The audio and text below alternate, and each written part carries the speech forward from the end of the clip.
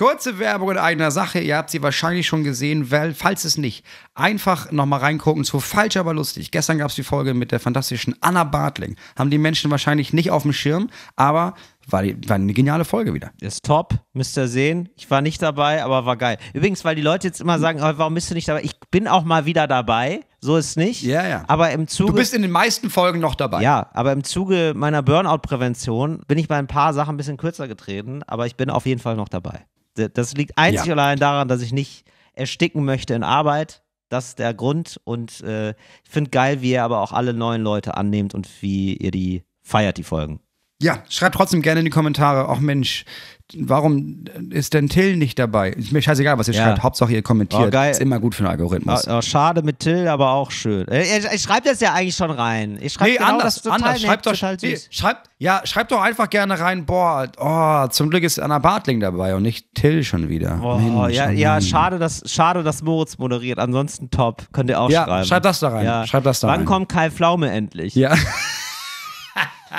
boah, ey, Moritz, mal ohne, ohne Scheiß. Ja. Ich fände das so geil. Irgendwann mal. Mit Kai Pflaume. Eine Folge nur. Weil der ist doch, der hat doch bestimmt Bock auf so einen Scheiß. Man nur so als ein Gag und dann sind wir beide aber auch mit im Panel und Kai Pflaume ist dabei. Kai, Kai Pflaume ich schon moderiert. sehr witzig. Ja, Kai Pflaume moderiert einfach. Falsch, aber lustig. Ja, gut, ich, ich spreche da mal mit Fritz drüber. Phyllis, du, ich und Kai Pflaume moderieren. Kai, wenn du das hörst, bitte melde dich. Wir haben noch einen Draht ja. zu Kai. Wir, ja, und wir nennen die Folge anders. Wir nennen die Folge Wer lacht bei sowas? Nennen wir die Folge dann. Ja, natürlich. Wer lacht bei sowas? Ah, ist dann mhm. das große der Spin-off. Das können wir mal machen. Wer lacht bei sowas? So, guckt euch den Scheiß an. Bis dann. It's Fritz. Talk ohne Gast. Mit Moritz Neumeier und Till Reiners. Ich müsste direkt starten mit einer Richtigstellung, Moritz. Ist direkt Kickstart. Direkt, oder ja. was? Da haben wir so richtig, da war ja richtiger Fuck-up anscheinend. Wenn wir als erstes erstmal sagen, nochmal Leute, Entschuldigung, das mit dem Butter ist natürlich nicht das gleiche wie Margarine. Und natürlich möchte ich auch die Menschen, möchte ich mich ja. nochmal entschuldigen, die ich da auf, die ich da auf die Fettfinger getreten bin. Ja, Moritz, so ist es eben. So ist es jetzt in unserer Zeit. Früher haben Leute einfach 30 Jahre lang durchgesendet, ohne irgendein Feedback zu bekommen. Weißt du?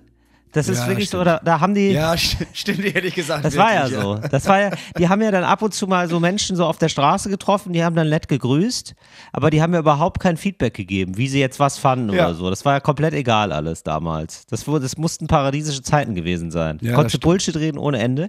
Naja. Ja, ist die bessere Zeit. Ja. Also Thomas Gottschalk hat die bessere Zeit abbekommen.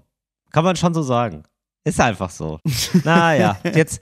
Thomas Gottschalk hat aber von allem das Bessere abbekommen. So ist es. Und äh, naja, ich muss sagen, ja, gut, wir müssen jetzt hier mit der Zeit arbeiten, wie sie ist, aber ideal ist es nicht. Sage ich euch ganz ehrlich, da bin ich schon. ich meine, klar, der Job ist ein Privileg, aber es könnte noch, das Stück vom Kuchen könnte noch größer sein, ne? da bin ich schon leicht grummelig, dass wir jetzt in so einer Zeit groß geworden sind. Nein, es ist gar nicht so, es ist überhaupt nicht so tragisch, aber nur damit ich es nicht vergesse. Ich habe da, also wirklich nicht tragisch, aber ähm, ich habe mich, das ist mir selber ein Anliegen, das klarzustellen, weil ich bin auch großer Falco-Fan. Eigentlich. Falco ja. mag ich natürlich. Finde ich super alles. Ja, ich habe gesagt, unheilig hätte gesungen, muss ich denn sterben, um zu leben? Und das stimmt gar nicht. Ja. Das war von Falco. Ach, wirklich? Aber von unheilig ist nämlich der nicht minder tiefgründige Satz, ich, ich geboren, um zu leben. ja, genau. Ja, stimmt. Ich bin geboren, um zu leben. Ja, ja. das war unheilig. Also da, sorry nochmal an der Stelle, dass man nie verwechselt, ist natürlich gar nicht gut. Da wird natürlich Falco sich im Grab rotiert, aber ich glaube, der rotiert nicht mehr im Grab. Der ist schon ganz andere Sachen gewohnt. Der ist, ja. der, hat, der hat eine dicke Kuhhaut. Ich muss ganz sagen, aber auch der Satz, ich bin geboren, um zu leben. Ich habe das damals immer schon gehört und gedacht, also müssen wir jetzt alles nochmal extra in dem Lied sagen. Dass man sagt, wenn ich einatme, atme ich wieder aus. Ja. Wenn ich manchmal steige ich aus dem Bett, um ja. den Tag zu starten. Ja. Das, es, es ist merkwürdig. Moritz, aber gerade das ist ein ganz komischer manchmal Satz. steige ich aus dem Bett, um in den Tag zu starten. Klingt schon jetzt wie, wie, ein, wie ein Song, den es gibt. Weißt du? Das ist schon. Da wüsste ich jetzt nicht, ob den Andreas Burani oder Tim Bensko gemacht haben. oh, oh, oh, oh, oh. oh, oh. Morgens aus dem Bett aufgestanden. Oh, oh, oh, oh, oh, oh, lecker Müsli in der Schale. Oh, oh, Oh, oh, oh, oh, oh. Ja, und also manchmal muss man auch die Basics besprechen, weißt du? Da muss man auch mal so, also die, die holen einen dann auch irgendwie ab, dass man mal so eine, so eine Standortbestimmung hat. Nicht immer, dass man nicht immer so denkt, das sind, man braucht manchmal Musik, die anregend ist geistig und man muss manchmal Ja. ähm, Musik haben, die geistig so, ich sag mal, abregend ist. Ja, das Ding ist, du brauchst ja öfter Musik, die einfach da ist. Ja. Also es gibt ja so Songs, die begleiten dich und das ist, oh, ich muss dieses Gefühl verstärken. Ja. Aber ich, meine steile These ist, außer so ein paar Freaks, die immer Musik hören, 75% der Musik in deinem Alltag ist ja eigentlich für den Hintergrund. Funktionsmusik. Warum- Es ist Ja. Funktionsmusik, ja. Warum gibt es dafür keine Charts? Ähm, weiß ich auch nicht, stimmt, aber, ich glaube, die, also die werden da richtig, also ich habe dann bei Spotify, gibt auch noch andere und so, bla bla, also Apple Music oder weiß ich nicht, Schlag mich tot, ne, dieser. CDs. Klar, Gib mal CDs, gibt's auch. ähm, aber bei Spotify mache ich dann auch immer häufiger so ähm, Playlists an. Ich merke auch so, wie mein Geschmack so langsam verplaylistet. Und, Ja, ähm, machen wir auch. Und ich mache halt auch Funktionsmusik an. Also ich mache dann manchmal so äh, Waldrauschen. Dann Waldrauschen 2 Mhm. empfehle ich sehr. Ja, dann, ähm, dann gibt's dann manchmal, manchmal mache ich sogar Regen an, weil das ist auch beruhigend. Dann mache ich ähm, Mhm. White Noise oder Brown Noise an. Das ist White. Ah, das kann ich nicht. White Noise kann ich gar nicht hören. Nee, kannst du Kann ich nicht. überhaupt nicht hören. Nee, Das ist so ein bisschen, als wärst du im Flugzeug. Da gibt es auch eigentlich immer so ein bisschen Ja, ich- ja. White Noise. Na, das finde ich irgendwie ganz gut. Das ist, äh, und dann habe ich, dann höre ich halt äh, auch dann zum Beispiel, wenn ich Sport mache, wenn ich alleine Mhm. Sport mache, dann höre ich so, so Workout-Playlisten. Und Was ist das für Musik? Also was ist das für Musik, die dir irgendwie sagt, hoch mit dem rechten Arm, wo viel Gewicht drin ist. Hoch mit dem rechten Arm, wo viel Gewicht Habe ich ist. gestern durchprobiert, viele Sachen. Und da war ich, Ja. habe ich mich gewundert, wie die auf eine Workout-Playlist landen. Also da war jetzt Ja. zum Beispiel eine Frau, die hat sich beschwert, dass sie, also die Story war, um mich da kurz einzuführen, die Frau findet den, also die Frau findet den Mann sehr gut, die ist charakterlich überzeugt von dem, der macht alles für sie, aber Mhm. Ja. im Bett ist er eine Niete. Ach Mensch. So, also er bringt sie nicht zum Orgasmus. Ja, hat sie mal, weil da habe ich gerade ein Buch zugelesen, ähm, hat Ja. sie mal mit ihm darüber gesprochen, weil ganz oft, jeder Körper ist ja sehr unique Richtig. und ähm, das Gegenüber kann ja nicht, also das Gegenüber kann ja erstmal nicht wissen, was sie mag. Richtig. Ähm, das wäre also quasi jetzt ein guter Schritt, um einmal aus sich rauszukommen, diese Scham zu überwinden Mhm. Ja. und zu sagen, pass auf, ähm, vielleicht könntest du das mal machen. Ja, und damit, klar, das Gegenüber ist erstmal, oh, fühlt sich erniedrigt, hat das Gefühl von, Mhm. oh nein, ich habe versagt. Aber wenn man sich da erstmal durchbeißt und weißt du, mit dem gleichen Elan, mit dem er jetzt sie versucht hat, charakterlich zu überzeugen, Mhm. wird er auch versuchen, sie- mit dem, mit dem Finger, mit der Zunge, was immer ihr Ding ist, auch zu überzeugen. Mhm. Ja. Als Tipp da draußen immer über Sexleben reden Ja. und sagen, was man will, was man nicht will, weil das kann nur besser werden bei denen. Recht hast du, Moritz. Aber das, sie hatte da erstmal den Weg gewählt, sich zu beschweren in Form eines Songs, hinterlegt Ja. mit ähm, Beats, ja, und so. Das Ja. hat sie, das war so ihr Ding. Und was soll ich sagen, der Song ist wirklich, also der ist ein Ohrwurm. Äh, den kennst du wahrscheinlich sogar auch. Ich hab, ich weiß nicht warum. Manchmal hat man das doch. Man hört so hundertmal einen Song, hört ja nie richtig hin auf die Lyrics. Ja. Und dann habe ich irgendwie, weil man jetzt bei Workout, das lastet einen ja jetzt geistig nicht komplett aus, hört man dann auch mal Ja. den Song an. Ja, ich weiß, was du Und meinst. ähm, dann habe ich das zum ersten Mal, die Geschichte dahinter sozusagen, die Geschichte hinter dem, hinter dem Geräusch sozusagen gehört und habe mir gedacht, Ja. ach guck, ist ja witzig. Also irgendwie ganz interessant, dass das jetzt so eine, aber ich glaube, sie wollte so ein Feld aufmachen von, man will das, was einem gut tut, sozusagen, das will man dann auch nicht. Weißt du, man will dann Mhm. Ja. so, das ist so die Erzählung. Ja, das ist so diese leicht toxische Erzählung von, man will dann auch das Arschloch. Weißt du? Ja. Der, der so, Ja, das, Ja, ja, das will man das so. Arschloch oder will man, ich meine, auf der anderen Seite, ich habe jetzt, ich kenne den, ich weiß den Song ja nicht, ich kann Ja. nur mit den Informationen arbeiten, die du mir gegeben Richtig. hast. Es ist natürlich aber auch, also ich verstehe ja auch ihre Krux, ne, dass sie sagt, oh, wir, wir lachen zusammen, Ja. er versteht Er mein Innerstes. super Mühe, Letztens, letztens hat meine Mutter angerufen und er hat extra neben mir gestanden, weil er wusste, das ist ein schwieriges Gespräch und ich werde nachher wieder streiten, damit er sofort da sein kann. Aber im Bett, ne? Also gar nicht. Also da passiert ja gar nicht. Also Genau. das, ja, er versucht es, aber, und das kann ich verstehen, dass sie sagt, das hätte ich ja nun auch gerne. die beiden Ich würde ja auch gerne mich im Bett befriedigen lassen. Kann ich verstehen. Achtung, Moritz, die beiden Nice Guys von diesem Podcast bringen euch zum Orgasmus. Herzlich willkommen bei Talk ohne Gast. Weißt du, weil wir mussten jetzt hier nochmal kurz abfeuern, wo wir überhaupt ja, sind. ja, klar. Ja, klar, natürlich. Ja, finde ich super. Finde ich super. Herzlich, herzlich willkommen damit bei diesem Podcast. Es ist immer noch bitterkalt, wenn wir aufnehmen. Es ist wirklich, äh, ich bin Ja, es ist überraschend kalt. Also ich weiß nicht, die letzten Tage waren so geil. Jetzt war ich eben ganz kurz draußen, um quasi zu gucken, ob die Heizung angesprungen ist. Da ist ja furchtbar kalt. Was ist da los? Es ist bitter- Das trifft dann umso härter. ja. Das trifft dann umso härter. Der Frühling hat quasi schon den Panzer, den eigenen Panzer so ein bisschen ablegen lassen. Richtig. Und jetzt treffen mich die, diese eisigen Pfeile umso schlimmer. Ich weiß nicht, in welchen, also in welchen, welchen lyrischen Zaubertrank du da gefallen bist. Das, Ich habe wohl, ich hab wohl gestern Abend die erste Folge von dieser Herr der Ringe-Serie geguckt. Ach, Vielleicht wow. bin ich da noch ein bisschen bei den Elben gefangen. es gibt eine Herr der Ringe-Serie. Jetzt kannst du bitte davon erzählen? Also es ist, ich weiß, dass da draußen jetzt 80 Prozent der Menschen Ja. stöhnend beim, da, darüber zusammenbrechen, was für Trottel wir beide wieder sind. Ja, ne? wieso? Aber Amazon Prime Ja. hat teuerste Serie, die jemals gemacht wurde, gemacht. Ist das so? Und zwar, ja, es ist die Ringe der Macht, heißt es, glaube ich. Und das ist quasi, es spielt in dem ganzen Herr der Ringe-Kosmos nach J.R.R. Tolkien. Also natürlich nicht von ihm, sondern ja, wir haben die Geschichte ein bisschen weitergeschrieben. Äh, und hat eine Serie gemacht dazu. ah, wow. Äh, also Sie seit spielt wann ist quasi das? Ach, das vor ist schon, dem Herr der Ringe. Das ist ja schon seit 22 Jahre draußen. alt. ja, Das, hat ist aber kein Arsch alt. mitbekommen, oder? Also da habe ich niemanden drüber Nee. reden hören irgendwie. Also dafür, dass das die krasseste Serie werden sollte überhaupt, und vor allem die ist ja dann, die sollte ja eigentlich anknüpfen an ähm, diese Drachenserie. Wie Ja. heißt sie? Äh, Dragon, House of Dragons. Nee, Ja. die andere. Die, House of weißt, was Cards. ich meine. Nein, ähm, Throne. Game of Thrones. Ja. So. Ja, Game of Thrones war zu Ende. Ja. Dann haben die sich gedacht, geil, dann machen wir jetzt hier die Serie für utopische Gelder. Ja. Und ähm, dann knüpfen wir daran an, hat gar nicht funktioniert. ah ja, okay. Hat wirklich keine Sau gesehen. Ja. Ich habe nur gestern, ich glaube, ich habe mit meinem Sohn über Harry Potter gesprochen. ja. Und dann meinte er irgendwie, ja, und danach lese ich Herr der Ringe. Und dann habe ich gedacht, warte mal, da gab es doch diese Serie. Wann kommt die denn raus? Hab nachgeguckt gestern und gesehen, ja, die ist seit zwei Jahren abgelaufen. Das hat einfach niemand sich angeguckt. Nee, das hat wirklich jemand, ich habe auch jetzt hier schon gesehen, die Bewertung ist so bei irgendeinem Portal bei 2,5. Das ist nicht Ja, so aber gut von klar. 5. Ja. Natürlich. Also du machst halt, naja, du, du machst halt einen Spin-off von etwas, was die Leute absurd doll geliebt haben und hast dann, kannst du nicht die Erwartung halten haben von, ja, ja, das toppen wir jetzt nochmal. Naja, also, Das ist ja Quatsch.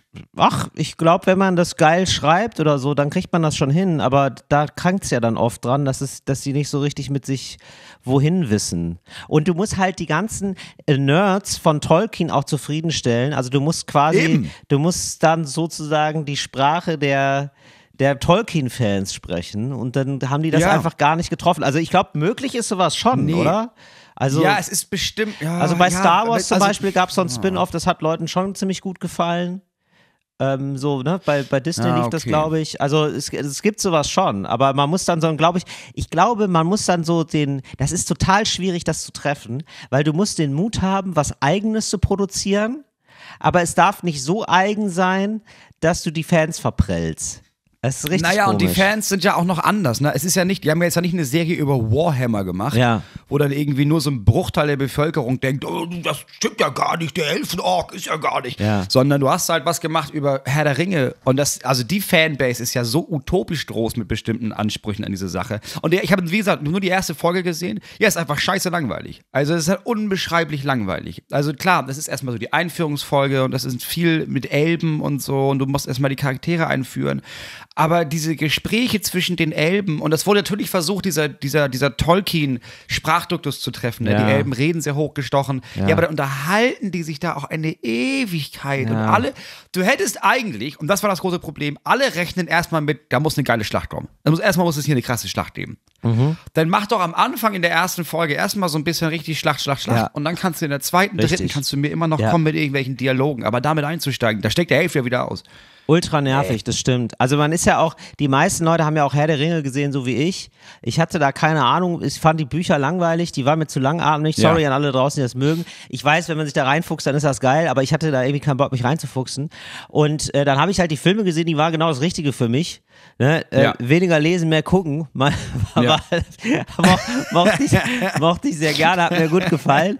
Und äh, das war ja damals eine Materialschlacht und das war total faszinierend, wie geil da diese Schlachten Schlachten aussahen. Und dann hat man eben Voll. auch manchmal dieses leicht, also dieses etwas zu pathetische auch gut ertragen können von den Leuten, die da sich unterhalten hat. Und dann hat man auch Ja. akzeptiert, dass da noch ein Ork ist und da noch ein Elb und so.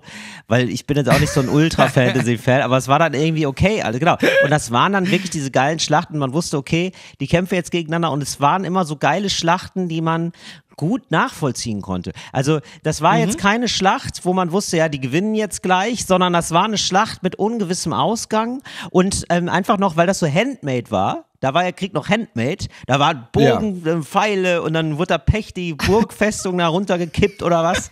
Da, ja, was denn? Da konntest du ja wirklich noch, da hat man, also wow, ich steigere mich hier rein in, da hat Krieg noch Spaß gemacht.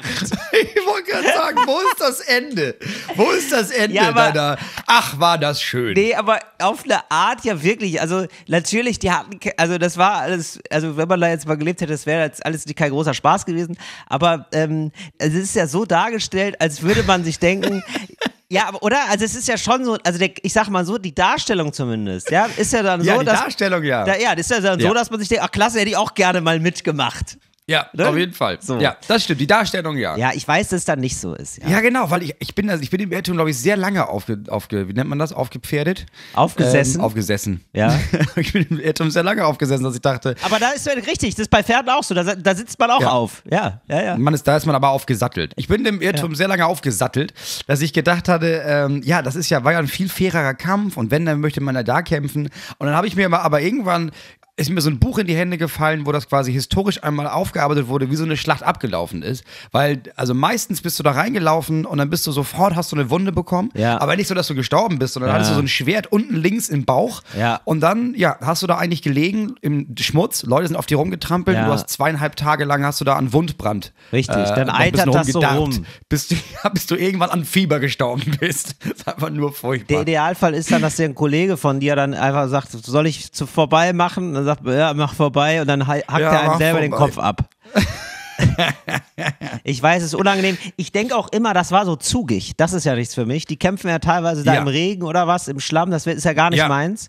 Also bei mir, also ich könnte maximal von 20 bis 25 Grad fühle mich mich in der Lage, für meine Leute zu kämpfen. Also, ja, für die, also für Till Reiners ist Stellungskrieg eigentlich Ja. nur in der Orangerie machbar. Ja, als Stellungskrieg nur mit Aperol Spritz in der Hand.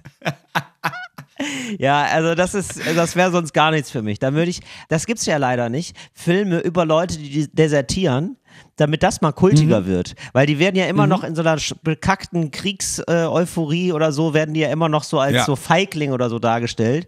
Aber eigentlich wäre das ja geil, wenn es dann mal eine größere Bewegung gäbe von Leuten, die sagen, nee, wir haben keinen Bock zu kämpfen, dass dann einfach der Krieg nicht stattfindet. Also jetzt auf beiden Seiten. Ich weiß, es müsste jetzt groß Mhm. sein und so und das ist irgendwie so ein bisschen naiv. Aber g- wo ist denn, wo sollte denn Naivität zu Hause sein, wenn nicht in einer fiktionalen Serie? Ja, also Ja, das könnte das man ja auch mal machen. Das könnte man ja auch mal zeigen, dass die Leute sich einfach legen, ey Leute, lass mal gehen. Lass mal ab. Ich habe gar keinen Bock. Aber in so einem Mittelalter-Setting. Ja, genau. Und dann vielleicht, um es noch obskurer zu machen, einfach so eine Gruppe von so Orks.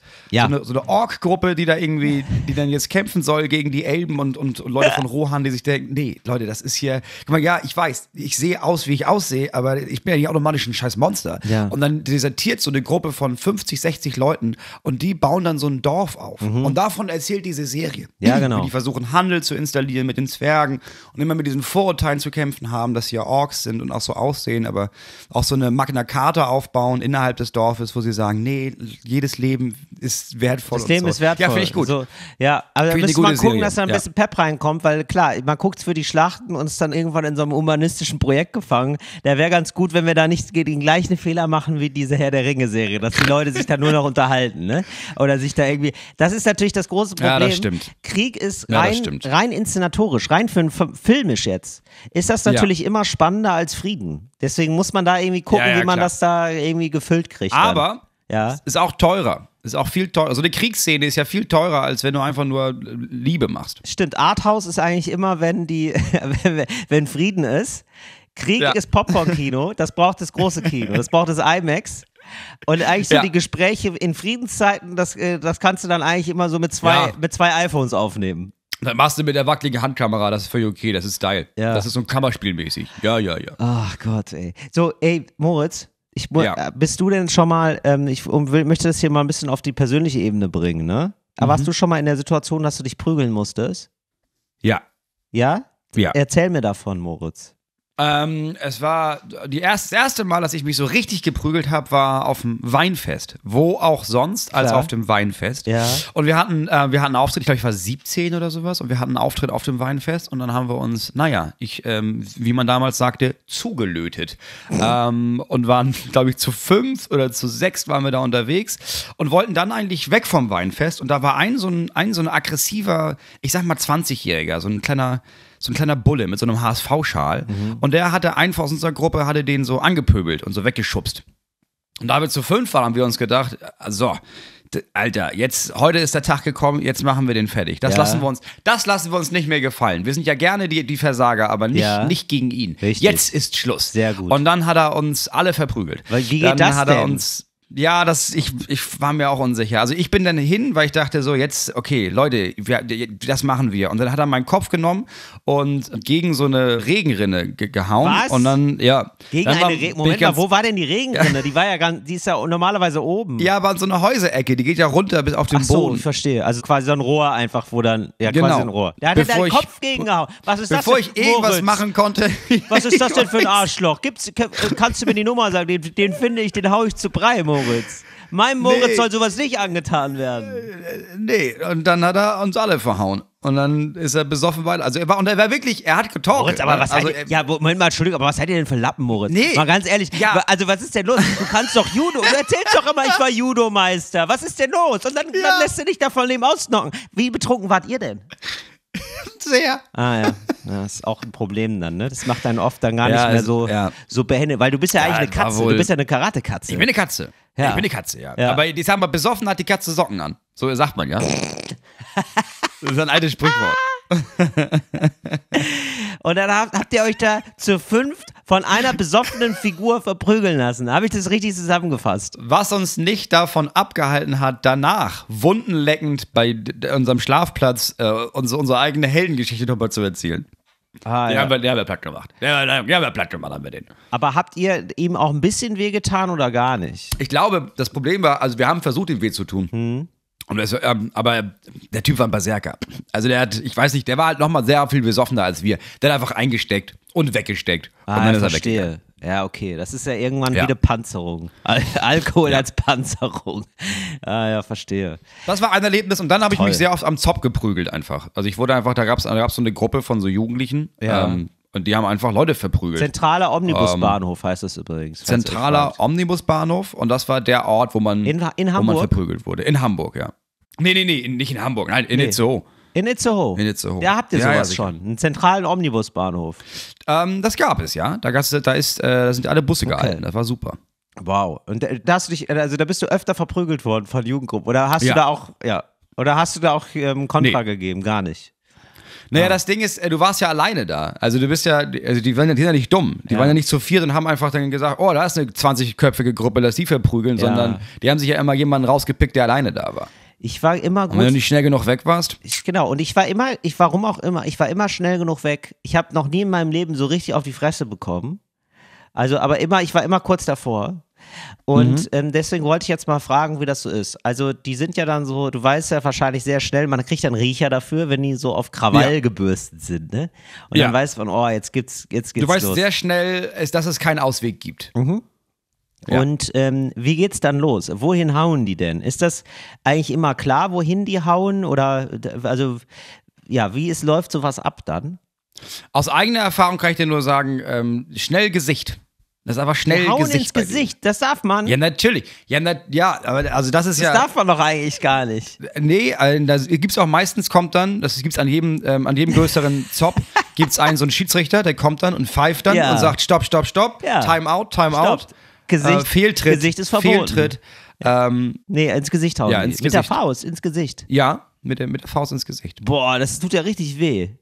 Das tut richtig doll weh, ja. Man ist richtig dann, also das, man unterschätzt das auch, ne? Also Ja. das Problem ist ja nicht nur, dass es doll weh tut, sondern dir tränen ja auch die Augen. Wenn dir, du auf die Nase getroffen wirst, dir tränen ja erstmal fünf Minuten die Augen. Du bist einfach völlig ausgenockt. Also du bist einfach dann konfliktunfähig danach erstmal. Ach, scheiße. Und das ist ja das Problem. Deswegen, aber das ist auch das Gute. Ne? Das Problem ist, bei diesem auf die Nase hauen von Leuten ist, dass wenn die dich falsch treffen, rutscht dir das Nasenbein ins Gehirn und du stirbst. Ugh.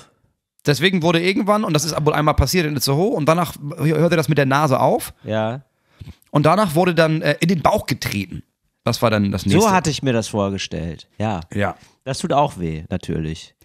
Aber nicht so doll, muss ich sagen. Also es tut auch weh, aber Mhm. Ja. du bist halt nicht komplett verschwommen von vornherein. Ja. Und ähm, lassen die dann irgendwann von einem ab, wenn man dann am Boden liegt? Oder wie ist das? Oder ist das dann, Ähm, ist das ich- immer der also- gleiche Ablauf dann? Im besten Fall sehen das größere Schlägertruppen. Also was mir zweimal passiert ist, ist, ich wurde von so einer Schlägertruppe. Oh. Schlägertruppe zu, zu Boden genockt. Ja. Und dann kamen aber äh, quasi größere, fünf größere Leute, die auch Bock auf Prügeln hätten. Ja. Und die haben dann die anderen verprügelt. Toll. Ja, das ist aber Ja. schön, oder? Das war ein schönes Gefühl dann. Naja, dachte ich in dem Moment auch. Ähm, Ja. Und danach dachte ich, oh, jetzt gibt's irgendwie sowas, die helfen mir. Und Ja. dann habe ich festgestellt, gar nicht. Die hatten einfach auch Bock auf Prügeln Ja. und haben mich dann aber einfach völlig am, am Boden liegen lassen und sind dann einfach dann auch we einfach weitergegangen. Aber die prügeln bis, so, bis man am Boden liegt, dann machen die nicht mehr so viel. Das ist eigentlich schon so die, die Schlägerehre sozusagen. Ich glaube, also ja, ich weiß nicht, ob es so eine Schlägerehre gibt. Bei uns gab's das, ja. Ja. Also da wusste, da, da kannten die schon irgendwie ihr Limit. Die waren aber auch 14, 15. Ich weiß nicht, wie das dann später war, weil, Ja. aber damals, wenn du am Boden liegst, dann warst du ausgenockt und dann war auch gut. Boah, weil Da hat es- nochmal jemand äh, auf dich gerotzt oder sowas, aber so- sonst war nicht mehr. Toll. Oh, ist das alles scheiße. Ja, was für Arschlöcher. Und haben die dich dann auch abgezogen? Also haben die dann immer so ein Portemonnaie genommen oder nicht? Nee, Also, nee, die wollen nur prügeln. Ist die ja wollen auch, nur prügeln. Okay. Ja, so, so Ich welche noch- sind wir nicht, haben sie sich gedacht. Wir sind Das- einfach ganz ja. normale Schläger, die nicht abziehen. Da wollen wir nicht verwechselt werden, in einen Topf geworfen werden. Das erste Mal, ich weiß, das habe ich glaube ich noch nicht erzählt, ne? Das erste Mal, dass ich verprügelt wurde, war richtig obskur, weil ich war alleine beim Friseur. Ich war irgendwie 13 oder sowas und ich hatte, ich hatte Judo-Training und davor war aber so eine Straße weiter war ein Friseur und äh, meine Mutter meinte, okay, pass auf, geh zum Friseur und dann zum Judo, danach hole ich dich ab. Und ich saß beim Friseur alleine in dem Laden mit dieser Frau, die mir die Haare geschnitten hat Ja. und dann kamen so zwei, ähm, zwei Jugendliche rein. Die sich dann so zu mir setzten und so getan haben, als würden sie mich kennen und meinen, ey, Johnny, ey, Johnny, hi. Und haben sich da so neben mich gesetzt, auf die Friseurstühle. Oh, es ist furchtbar. Ähm, und die Frau hat mich weiter rasiert und weiter rasiert. Äh, und irgendwann meinte, ja, wir warten draußen auf dich. Und dann gu guckte sie mich an und meinte, kennst du die? Und ich meinte, Ja. nein, ich kenne die Oh, nicht. fuck. ich ich habe die noch nie gesehen. Und dann hat sie mich abkassiert und hat mich rausgeschickt, einfach so. Und dann haben die mich da draußen an mir in den Bauch getreten, an mir an den Kopf gehauen und dann bin ich weggerannt. Oh, fuck, aber da werde ich, also okay, aber. Also, also so richtig, so Ja. richtig, Oh, es war so richtig obskur. Das waren äh, Sinan und Gogo, so hießen die, habe ich später Ja. rausgefunden. Die haben mich dann sehr, sehr oft noch äh, verprügelt. Und das waren so Sinan und Gogo. aber wie kam das denn dazu? Aber das ist doch super absurd. Die sind dann in den Friseur gegangen und gedacht, richtig wahllos. Die haben mich gesehen durchs Fenster und gedacht, komm, dem, das machen Dem wir machen dem wir Sinan und. Gogo. Ja, aber die waren so, mein Vater hatte die irgendwann, äh, hat mir das irgendwann erklärt. Die waren so, die kannte man in, in Itzehoe. Äh, Ja. Die waren auch zwischendurch dann im Knast später, weil Dein die Leute Vater war verprügelt haben. Sozialarbeiter. Deswegen. Ja, genau. Ja. Ja. Und deswegen kannte er die natürlich alle. Und Sinan und Gogo waren so zwei Cousins. Ja. Die waren dann so abwechselnd auch im Knast später. Ja, Aber das klar. waren auch die, die am Zopf gesessen haben und die dann haben mich dann, sobald die mich gesehen haben, irgendwie hatten die mich auf dem Kicker. Obwohl, die, wir hatten ja auch keine Beziehung davor. Es ist ja nicht so, als wären wir mal beste Freunde gewesen, aber dann habe ich die beim Pokémon-Karten abgezogen oder so. Gar nicht. Die haben mich gesehen, dann haben die mich verprügelt und das lief über Jahre hinweg. Keine Ahnung warum. Ich meine, jetzt ist es ja passiert, ne? Aber hättest du da nicht fragen können, ob bei der Friseurin, ob es da sowas wie einen Hinterausgang gibt? Ja, aber ich war 13, ich war einfach, Ja, ich, ja, hab, ich weiß ja nicht so- heute noch das Gefühl, diese Angst, diese Panik, dieses Schwitzen, Ja. dieses nicht zu wissen, was, völlig überfordert zu sein. Ja, sie hätte einfach sagen sollen, ey, bleib hier, bis die weg sind oder, Ja. oder ich rufe die Polizei oder geh, geh hinten raus oder Das ist was echt auch immer. dramatisch, ey. Das ist echt furchtbar. Ja, das war richtig merkwürdig. Ja, da ist man, ja, ach mein Gott. Ja, die, die Scheißschläger, ne? Scheißschläger. Ja. Ja, aber hab ich, ich habe das lange nicht mehr gehabt. Ich habe mich wirklich sehr, sehr lange, also ich wurde mal im Zug attackiert von so einem Nazi, Ja. aber ich musste mich seit Ewigkeiten nicht prügeln. Und ich meine, jetzt habe ich Personenschutz. Jetzt würde ich mich prügeln lassen. Ja, das ist das Beste. Das, ist, das hätte man vorher mal gebraucht, ne? Darauf Das hätte man noch. ab zwölf, bräuchte man eigentlich. Ja.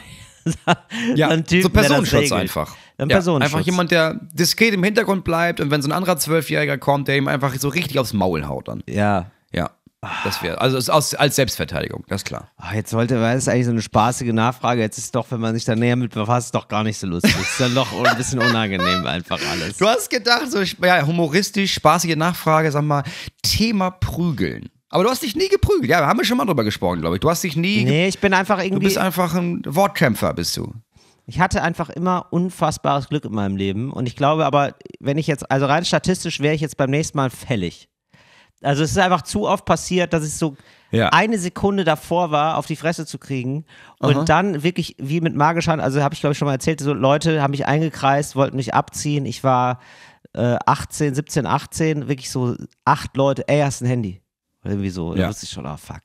Und wie ich gucke mich um und denke mir, fuck, das ist ja wieder im Film hier, ist ja niemand. Die kreisen mich gerade ein. Oh mein Gott, wird das scheiße. Und dann waren die gerade, der Kreis zog sich immer mehr zusammen. Die stand wirklich, ich stand wirklich in einem Kreis und ich wusste, jetzt gibt es einfach nur gnadenlos aufs Maul und die ziehen mich ab. Die waren, die wollten Ja. beides. Die wollten auf jeden Fall beides. Ja. Die waren Ja, sie sauer, dass ich denen nicht sofort das Portemonnaie gegeben habe. Aber ich war da richtig bockig. Ich war da richtig, ich hatte, ich hatte ganz viel Angst, aber ich hatte auch, ich, irgendwo gab es auch Wut in mir. Und dann habe ich, deswegen habe ich sie nicht sofort gegeben. So. Und ähm, dann auf einmal rannten die weg. Wirklich in letzter Sekunde rannten die weg und dann kam da so ein Sicherheitsdiensttyp mit so einem Elektroschocker. So, hat mir seinen Elektroschocker, äh, wirklich wie im Film. Wir, ohne den solltest du hier nicht rausgehen, hat er gesagt. und dann, und da habe ich mich erinnert gefühlt an diese Friseurgeschichte, aber ich war natürlich auch Ja. älter und die Situation war eine andere.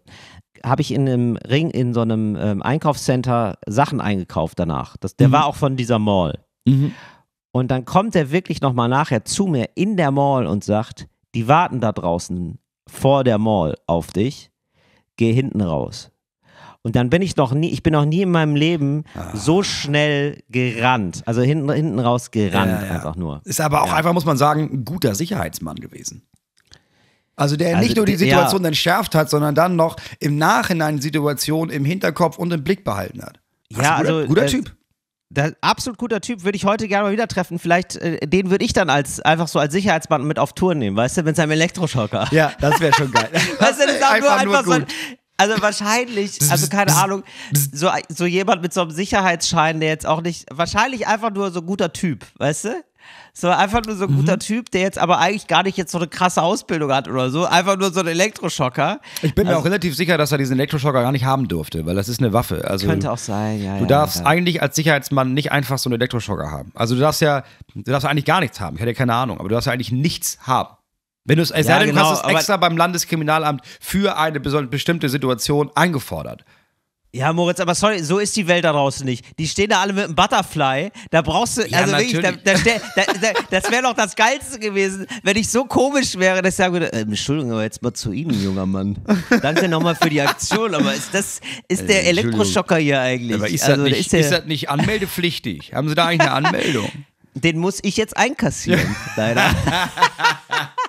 Ganz komischer Plot-Twist auf einmal.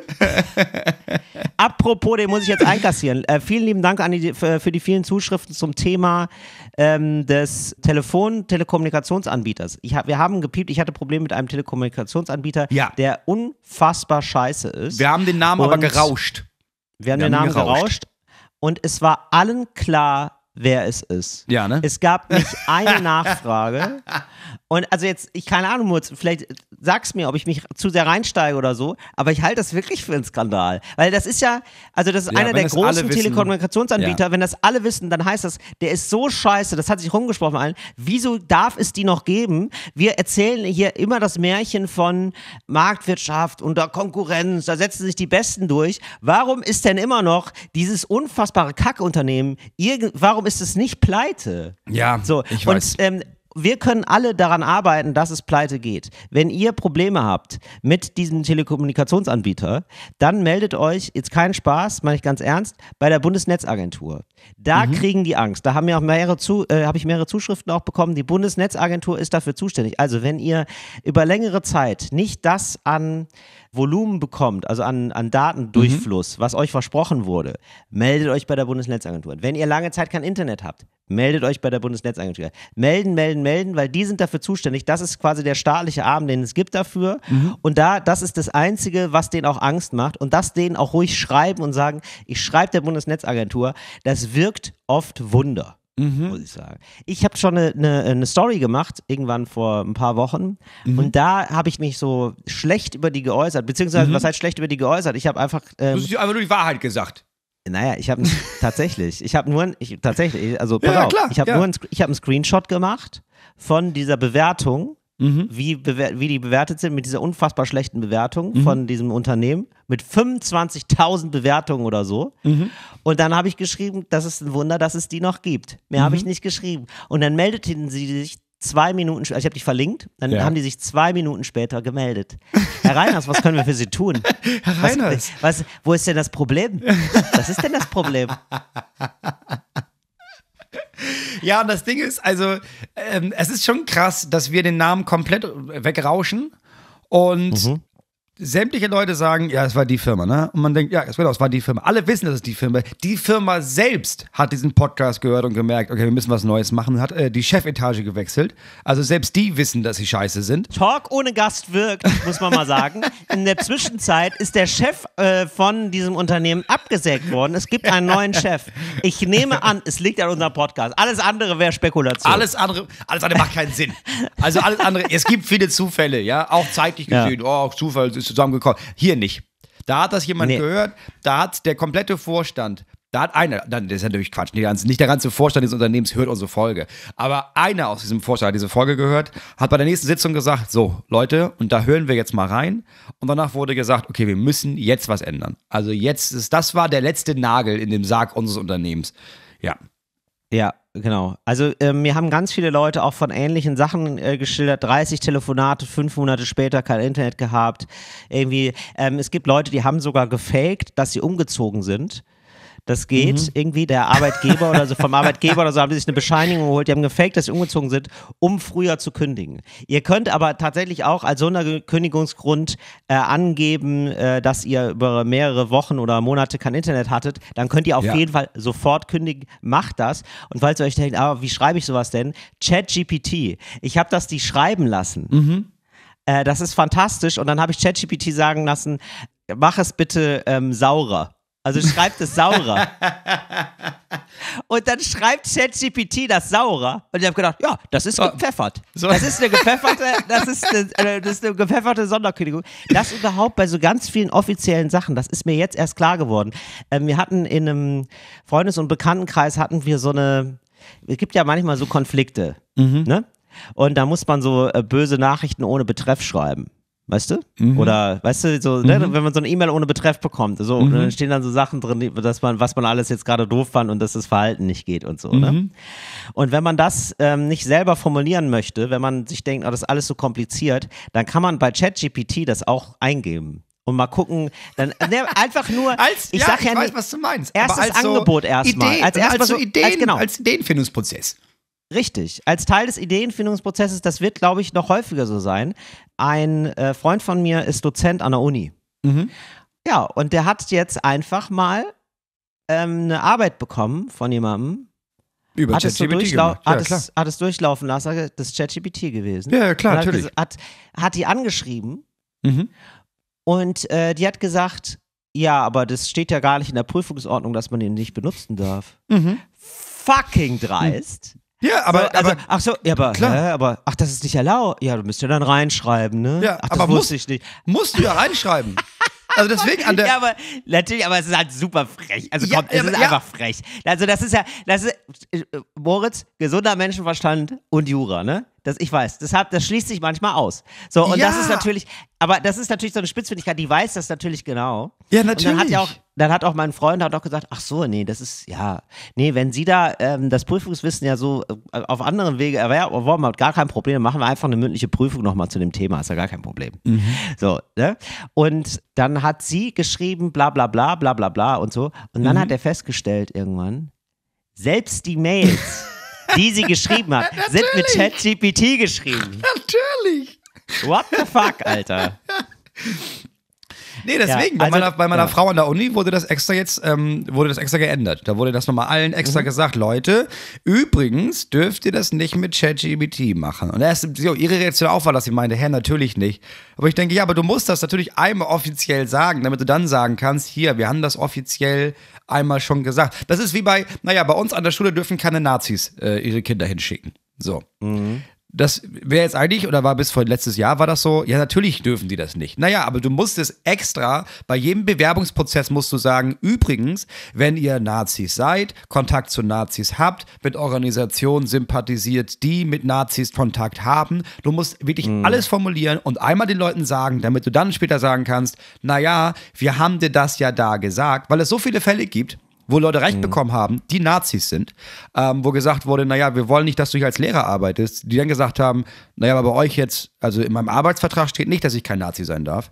Ich habe auch jetzt nicht das Gefühl, dass mir jetzt oft gesagt wurde, ich dürfte kein Nazi sein. Ich habe zum Beispiel, habe ich mal gehört, dass ein Schüler gesagt hat, bla bla bla bla, da gab es keine Bestrafung. Also woher hätte ich wissen sollen, dass man als Nazi hier nicht arbeiten darf? Und dann meinten Gerichte, ja, dann Punkt, dummerweise. Also ja, hat er wohl einen Punkt.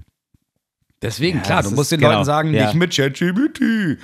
Genau, es ist wirklich so, ja, ja, es ist natürlich frech, aber ich fand es irgendwie interessant, dass das einfach jetzt, also natürlich ist es so, aber ich fand es irgendwie cool, dann nochmal so das äh, Feedback zu bekommen und diese Idee vor allen Dingen, ähm, dass man ja auch Nachrichten schreiben lassen kann ja, und vorschreiben. Klar. Das finde ich, das kann man ja manchmal, ich finde nämlich gerade bei so Unternehmen, die sich gar keine Mühe geben und die ja auch ihrerseits mit so automatisierten Scheißantworten anfallen, mhm. genau einfach auch mhm. die Armada von Computern selber mobilisieren und ja, äh, Computer gegen Computer. Ich habe äh, ich habe neulich so eine, äh, so eine Kunstsache gesehen, so eine Kunstinstallation gibt's. Da redet Siri ja, mit äh, ChatGPT. Ja. Das, das liebe ich. Das Wie kann absurd. ich dir helfen? Wie kann ich dir helfen? und dann, und das Geile ist, ja, und dann äh, so, man denkt so, okay, aber die sagen jetzt so, wie kann ich dir helfen, wie kann ich dir helfen? Und dann nach drei Minuten sagen die aber, ja, wir könnten über ein Thema reden. Wie wäre es denn zum Beispiel über AI? Wir könnten über künstliche Intelligenz reden. Und dann reden die über sich selber. Und das finde ich so geil. Also, die sind dann doch auch nichts anderes als Leute aus der Medienbranche, ja, die sich denken, ja, lass uns doch mal über uns reden. Ich denke, das ist das spannendste Thema. Ja, aber noch einmal jetzt, also jetzt noch einmal ja. zu diesem Unternehmen. Ne? Natürlich ist es also natürlich geiler, ja, wenn, wenn, wenn jetzt der deutsche Staat sagen würde, ja, müssen wir ändern, müssen wir ändern, geht so nicht, geht so nicht. Und auf der anderen Seite, weil wir wissen, das passiert wahrscheinlich erstmal nicht, ist ja der Aufruf ganz gut zu sagen, naja, wenn ihr unzufrieden seid mit dem Service da, dann mhm. geht er weg. Geht er weg. Ab und zu muss man Sachen in die eigene Hand nehmen damit sich Sachen ändern. Und damit würde ich, nee, ich würde gerne. Natürlich. Moment, nee, Moment, ganz kurz, darf ich noch ein, zwei Sachen zu dieser Sache sagen? Weil ich ja, sag noch so was zu dieser Sache. Dazu. Okay, also genau, geht da weg, aber manchmal sind, ist man ja gefangen. Also wie gesagt, man kann da aber Sonderkündigungsgründe angeben. Es, also kann man schreiben lassen am besten über mhm. irgendwelche KI-Computer. Ich weiß übrigens nicht, ob es noch andere Sachen Es gibt bestimmt andere Sachen als ChatGPT, aber weiß ich jetzt gerade nicht. Aber ja. gibt es da ganz andere tolle Sachen? Wir wollen jetzt nicht Werbung für ChatGPT machen. Ähm, es ist so, dass einer nochmal geschrieben hat, also es gab einen äh, ganz lieben Dank, der arbeitet bei und hat gesagt, ich kann dir, ich kann dir helfen. Ich bin Fan von Talk ohne Gast. Ich kann dir helfen. Ich weiß, es ist alles furchtbar bei uns. Also, ah, das müssen wir, das müssen wir das rauschen. Wird gerauscht. Hopp, hoppla, habe ich kurz den Namen gesagt. Und ähm, jetzt, äh, eine Person hat mir noch geschrieben, das fand ich irgendwie nochmal ganz interessant, könnte ein Hinweis sein. Das ist jetzt nicht geprüft von mir, aber ich nehme an, dass das jetzt so ist. Ja. Dieser Telefonanbieter gibt die Kundenbetreuung an Fremdfirmen ab. Diese Fremdfirmen werden nach Calls also Telefonaten bezahlt. Ja. Die Mitarbeiter in diesen Fremdfirmen haben zwei Minuten Zeit, um dir dein mhm. Problem zu lösen. Ich mhm. habe dort mal gearbeitet. Ist knallhart. Wenn du bemüht bist, das Problem des Kunden zu lösen, dauert das schon mal eine halbe Stunde und mhm. das macht dann deine Statistik kaputt. Ja. Ist also nicht gern gesehen. Generell ist man ziemlich ungelernt und wird ins kalte Wasser geschmissen und genau das ist auch mein Eindruck. Also ich hatte alle zwei, drei Anrufe, hat, haben Leute auch einfach sofort aufgelegt. Ja, ja, klar, weil die müssen, also das ist ja nicht mal deren Schuld. Du hast da so ein, so ein Zeitlimit von, du musst so und so viele Anrufe am Tag schaffen, weil wir werden ja. für so und so viele Anrufe bezahlt. Aber dann würde ich sagen, naja, wenn du ein derart großes Unternehmen bist und so viel Kohle verdienst, dann ist es deine Verantwortung, das selbst vernünftig hinzubekommen, einen Service anzubieten und das nicht an eine Fremdfirma zu geben, weil das ist immer das Argument von, ja, das ist ja, nee, da, da kam wen jetzt nicht wieder, das ist eine andere Firma, das ist so ein Subunternehmen, das wir, da können wir mhm. erstmal gar nichts machen, Warum ist das erlaubt? Warum kannst du dich deiner Verantwortung entziehen, indem Ja, du sagst, ja, das richtig. ist eine andere Firma. Ja, aber Richtig. okay, aber bei den Leuten, na, die werden schlecht bezahlt. Naja, aber das, die haben ja auch, die sitzen ja auch nicht in Deutschland. Die sitzen ja in einem Land. so. Nach deren Gesetzen ist das sehr viel Geld. Und man denkt, warum ist das erlaubt, dass der Kundenservice nicht in Deutschland ist? Warum gibt es nicht endlich Ja. dieses vernünftige Lieferkettengesetz auch online und auch für sowas, dass du sagst, wenn du Firma XY bist, dann hast du, wenn du einen Service in Deutschland anbietest, dich an folgende Punkte zu halten. Du musst eine vernünftige Servicequalität herstellen und ansonsten ist es deine Schuld, wenn nicht. Ja, Es genau. es ich habe jetzt, also ich wechsle jetzt in, ich freue mich richtig drauf. Ich, in zwei Wochen bin ich weg. In zwei Wochen bin ich bei jemand anderem. Da weiß ich, dass die eigentlich die Mittler die, die immer noch die beste Servicequalität haben. Ja. Das, also das haben, ist also, das wird ja auch getestet manchmal. Kann ich dir aus, äh, aus, aus Erfahrung Ja. sagen. Nie ein Problem mit gehabt. Ja, genau. Also lassen sie sich auch bezahlen, äh, da, ne? Da Also freue ich- ich, mich. Ja, es ja. gibt dann Firmen, die einfach, genau, die sind dann einfach teurer, weil die halt das, die machen das dann halt so, dass es klar ist, naja, wir geben halt echt viel Geld aus für so Kundenzufriedenheit. Ja, aber dann, dann, wenn man das Geld hat, dann zahlt man das halt einfach da und dann hat man wenigstens das Gefühl von, ja gut, wenn ich da anrufe, dann hilft mir auch jemand. Das macht halt wirklich einen Unterschied. Ja, vor allen Dingen, ich habe das schon in der Anbahnung, also in dem, also ich habe das so telefonisch bestellt und so, und da habe ich schon gemerkt, du, kriegst ja eigentlich relativ schnell mit, ob jemand so im Thema ist oder nicht. Also, Ja. weil du merkst auch bei, wenn du bei diesem anderen Telekom, also bei dem, den ich jetzt habe, bei diesem furchtbaren Unternehmen, merkst du halt auch wirklich, du rufst bei Leuten an, die haben ein Headset auf und also du merkst schon, in welchem Raum die sitzen. Die haben so links und rechts so eine Stellwand. Äh, Du weißt, kaltes Neonlicht, es riecht ein bisschen nach so kaltem Rauch. Ja. Und äh, weißt du, und, und nach, und nach äh, kurz unter Mindestlohn bezahlt. Ja. Das ist irgendwie, das Wenn kriegst du über überhaupt. die Stimme alles mittransportiert, Ja, was klar. da gerade los ist und wie viel Bock die haben. Weißt du, wo haben die, wie, können sie noch mal ihr Kundenpasswort sagen? Ah ja, wie ist die denn Adresse? Wie, was ist das Problem? Ah, das ist hier eine ganz falsche Abteilung da. Gott sei Dank. Und tschüss. Tschüss. Genau, und dann gibt es andere Firmen, wie die, zu der du jetzt zum Beispiel wechselst. Ähm, ich bekomme einmal pro Jahr einen Anruf. Ähm, und dann ruft mich jemand von der Firma an und sagt, ich will gar nicht lange stören. Ich habe nur gerade, ich habe einmal ihren Vertrag durchgesehen, das machen wir einmal im Jahr. Und ähm, sie zahlen quasi, also wir haben jetzt ein neues Angebot, da zahlen sie weniger und haben aber dann noch mehr. Also ich kann Ihnen das einmal zeigen. Und dann, hat, dann sagt, meistens ist das eine Frau aus irgendeinem Grund, Ah, ähm, wow. liest mir das Ja. dann vor und sagt, also sie hätten dann quasi das mehr, aber würden 5 Euro weniger bezahlen. Wollen sie das machen? Und dann sage ich meistens, ja klar, warum nicht? Meinen sie, ja gut, dann trage ich das ein. Alles klar, bis nächstes Jahr. Ja, aber genau. einfach nur, weil, ja, das ist alles, das ist einfach ein anderer. Dafür ist es halt auch teurer, das sehe ich ja auch ein. Dafür ist es halt nicht ja, nur 3 Euro und dann ab dem zweiten Jahr 150, aber jetzt nur 3 Euro. Ja, aber Ja, ab, und zu, genau. ab und zu muss sich das Volk drum kümmern. Das ist das, was ich Mhm. damit sagen will. Oder in Kauf nehmen, dass es scheiße ist, weil andere sich drum kümmern. Ich möchte einmal kurz äh, in den politischen Salon mit dir gehen, um über, Ja, den, Bahn, um über den Bahnstreik zu sprechen. Ja, okay. Der politische Salon. Ja, So. okay. So, Also, es- ja, Bahnstreik, ja. wir wissen, es gab jetzt was, fünf, sechs Bahnstreiks. Es gibt immer noch Wieselski, das ist der Typ von der GDL und ähm, der jetzt einfach nicht von seiner Position abrückt.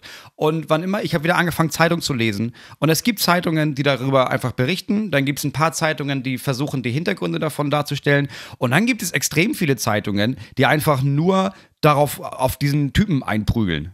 Und einfach nur den Aspekt nach vorne stellen von, ja, ist euch das denn klar, was das für die Wirtschaft kostet, wenn die Bahn nicht fährt und streikt? Ist, hier, hier ist eine Frau, die hat fast ihre eigene Hochzeit verpasst. Hier ist eine Mutter, die ihre Kinder nicht. Und ich denke, ja, das stimmt. Das ist wirklich scheiße, wenn die Bahn nicht fährt. Und das ist auch Absolut. wirklich. War dabei, bin absolut der, scheiße. Absolut. Absolut. scheiße. Und das ist auch erstmal ähm, für viele Leute, die 40 Stunden die Woche arbeiten müssen, ist das dann anscheinend ein blanker Hohn, dass da eine Gewerkschaft ist, die sagt, nee, wir wollen eine 35-Stunden-Woche und dafür sind wir bereit, jetzt hier zu streiken und nochmal zu streiken und nochmal zu streiken.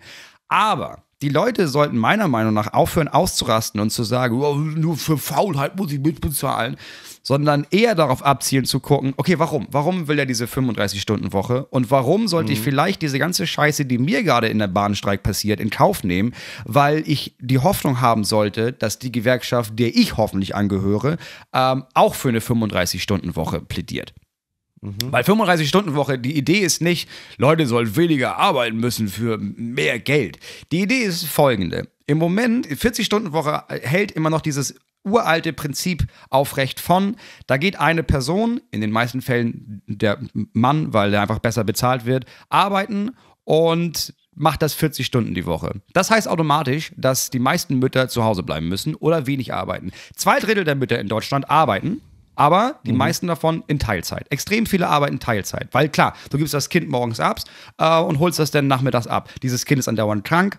Das heißt, du bist sowieso andauernd zu Hause, das ist mega nervig. Und das heißt, der Normalfall ist, Väter gehen arbeiten, Mütter arbeiten maximal in Teilzeit. Jetzt gibt es aber eine Umfrage, die sagt, 50 Prozent der Väter in Deutschland sagen, ich würde gerne einfach 50-50 machen. Ich würde gerne 50 Prozent arbeiten und 50 Prozent den Scheiß zu Hause klären. Weil auch voll viele Leute merken, naja, Familie und Kinder haben ist voll schön, aber Kinder haben mit 40 Stunden Wochen plus Anreise und Abreise vom Job, ich sehe die Kinder kaum.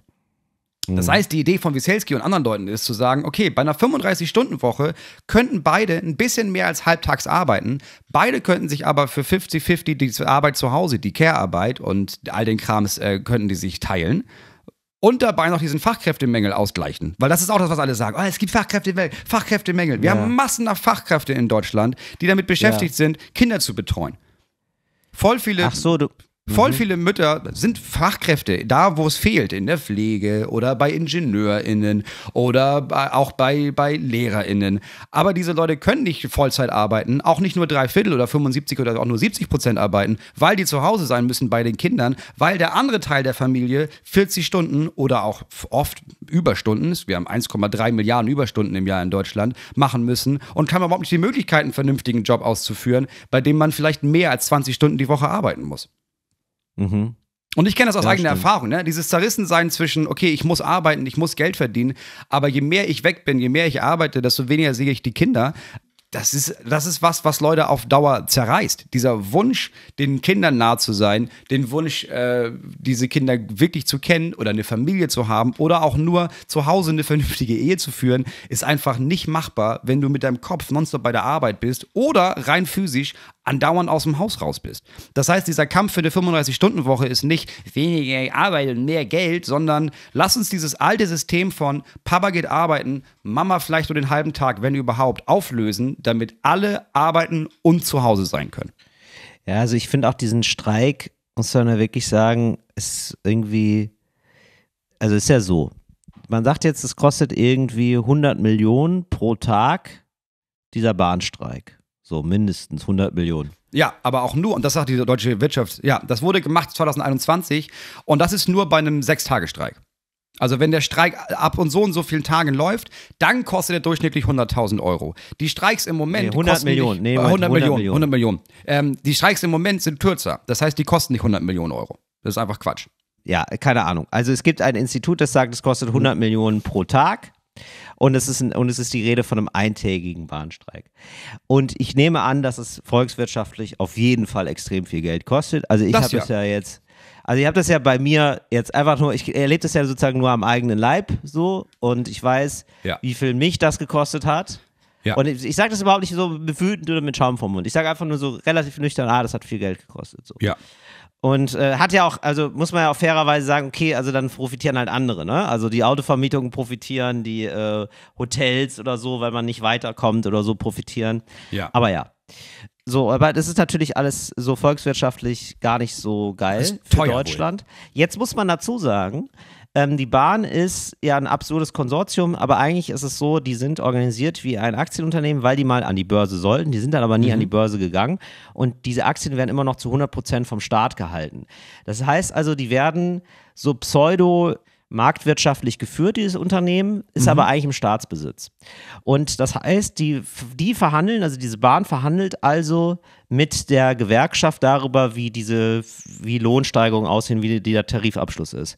Mhm. Und die Bahn stellt sich dann irgendwann quer. Das heißt aber auch, jeder Tag, den die Bahn nicht sagt, ja, okay, dann machen wir das halt so, ja, weil mhm. ihr habt offenbar, ihr streikt einfach bis ihr, bis ihr verrückt, also bis es nicht wie die Wahnsinnigen.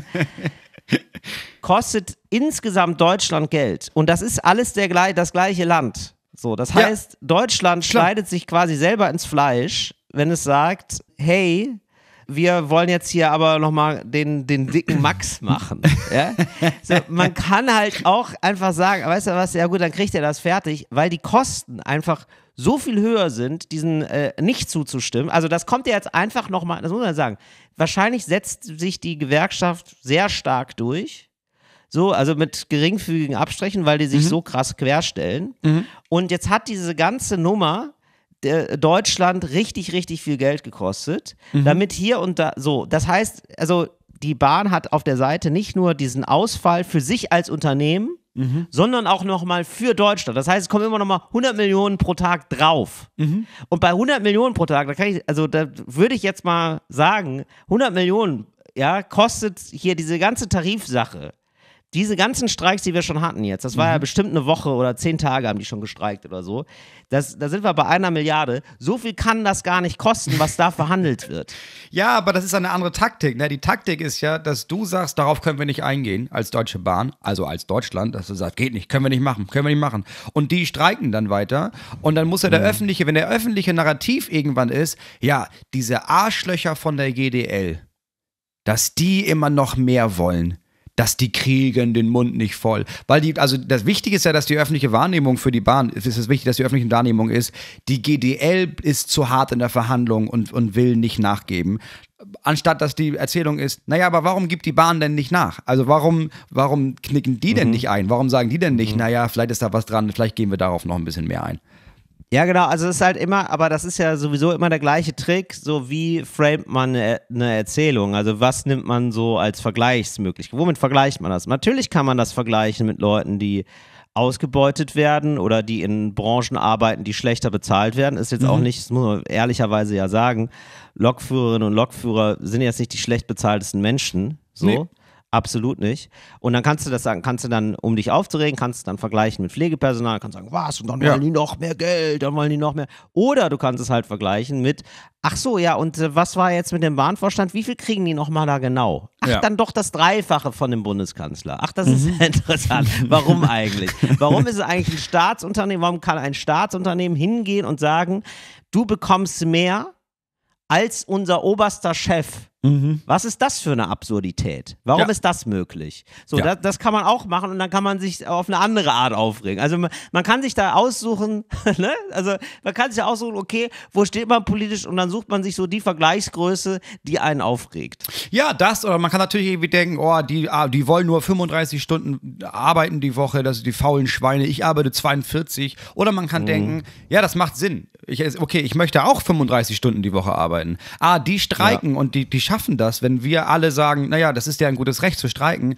Warum dann, vielleicht ist dann, wenn das durch ist, vielleicht kann meine Branche die nächste sein, die streikt und das durchzieht. Richtig. Ja, natürlich. Also es geht einfach wirklich darum, wie organisiert Branchen sind. Und, und das ist ja leider das ganz große, also ich meine, da haben wir schon echt drüber, oft drüber gesprochen, aber zum Beispiel eben bei Pflegepersonal, die ja. sind einfach erpressbar dadurch, dass sie keine Arschlöcher sind und Menschen sterben lassen. Ja. So, und das ist leider wirklich das Schlimmste, was, was es gibt, dass da der Staat eigentlich mit kalkuliert, beziehungsweise jetzt nicht nur der Staat, sondern auch die ganzen äh, privaten, privaten, und halbprivaten da Kliniken ja. und so. Ich weiß gar nicht, diese Konsortien, die verstehe ich auch immer nur so halb, ehrlich ja. gesagt, aber ihr wisst, was ich meine. Also die Arbeitgeberseite ist dann, kann dann das irgendwie einsetzen, weil sie wissen, ja, wenn ihr alle die Arbeit niederlegt, dann sterben Leute. Wollt ihr das? Nee, natürlich nicht. Also kann man das nur in begrenztem Maße machen.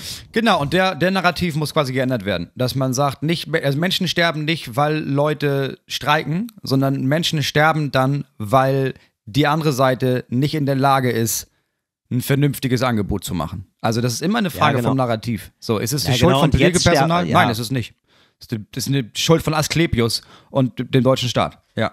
Klar. Es wird ja jetzt auch schon gesagt, bei Leuten, die ähm, so in der Pflegebranche arbeiten und Krankenhäuser gut kennen und auch bei Assist AssistenzärztInnen und so, also wird auch gesagt, hey, da werden schon Menschen, da sterben schon Menschen tatsächlich. Die ja. werden leiden gelassen, weil der Stress so hoch ist, dass ja. viel mehr Fehler passieren und Fehler äh, in dem Bereich können halt zum Tod führen. So, Ja. das wird einfach so und das kannst du nie nachweisen, das kannst du dann nie, die sind alle super abgesichert und da schreibst du immer, wenn du irgendwie eine OP hast, ja, okay, macht, macht mit mir, was ihr wollt.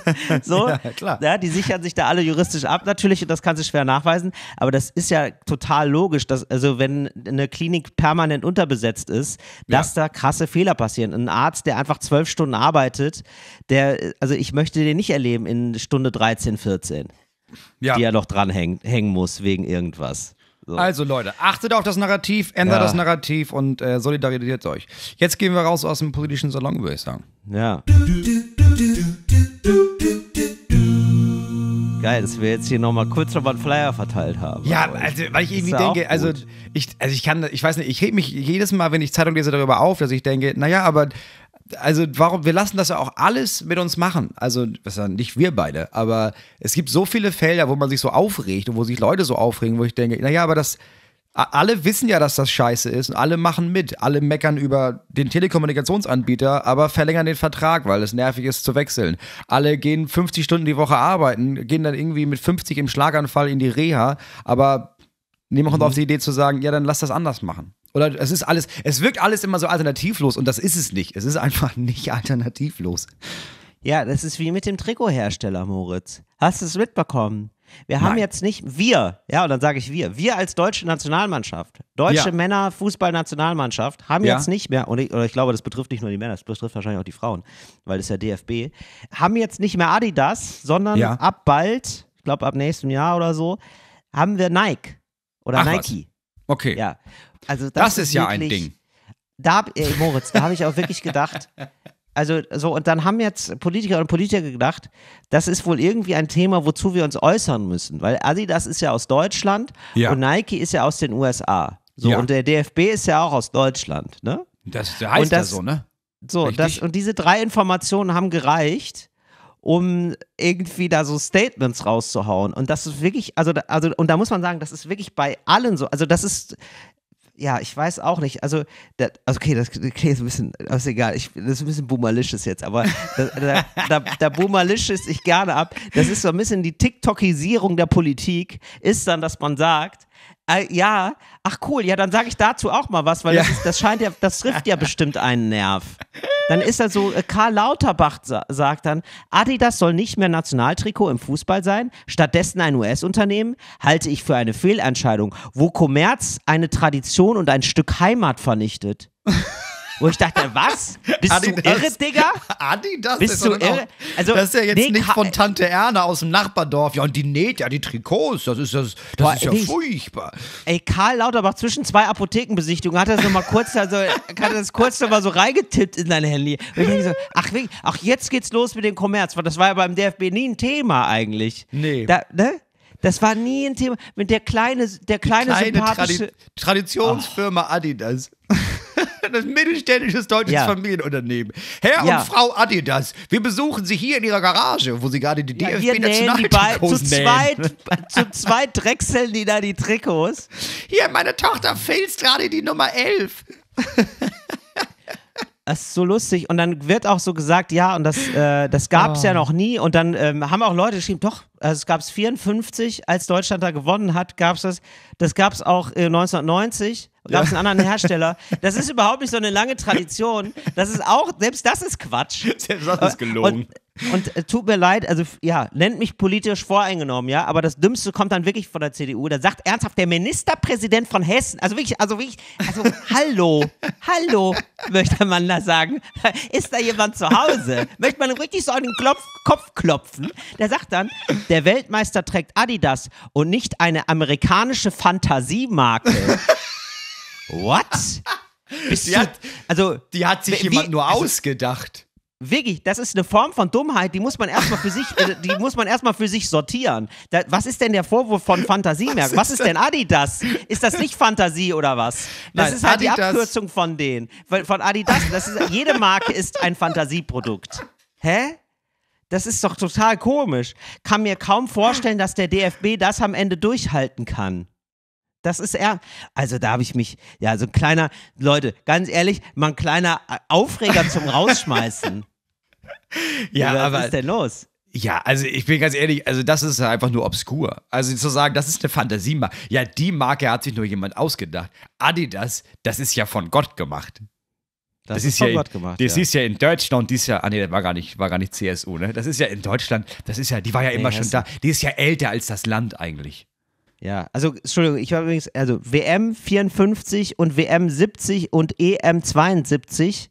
So, da wurde auch, da gab es auch einen anderen Trikothersteller, nicht 90, aber 70 und 72. Gab es immer, gar kein Problem. Gab es mal Umbro, gab es mal irgendwas anderes so, also überhaupt kein Ding. Das ist einfach nur, ist ein fucking Trikothersteller. Und dann wird ernsthaft so getan, als wäre das, also einfach nur, weil sich was verändert, ist das jetzt die böse Marktwirtschaft, als wäre das nicht schon immer so gewesen.